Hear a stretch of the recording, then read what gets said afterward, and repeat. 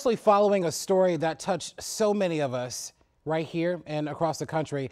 It's the story of Pamela Thompson, a mother caught in the middle of a gun battle, killed in front of her eight-year-old son as the two were in a vehicle on their way to a birthday party. DC police have made no arrests as of right now. Our Megan Rivers caught up with DC Mayor Muriel Bowser to talk about it just a short time ago. Politics aside, what can we do as a community, Oh, me as a person? I'm not talking Yeah. about politics. Yeah, I know, but I'm talking about public safety. And the only thing that has ever worked with crime is to focus on the people who are violent, flood them with services, and, and make sure they're engaged in those services. But if they're not, they have to be separated from the community. Bruce Leshan talked with the woman's aunt and her eight-year-old son, Rufus. It's a very powerful story.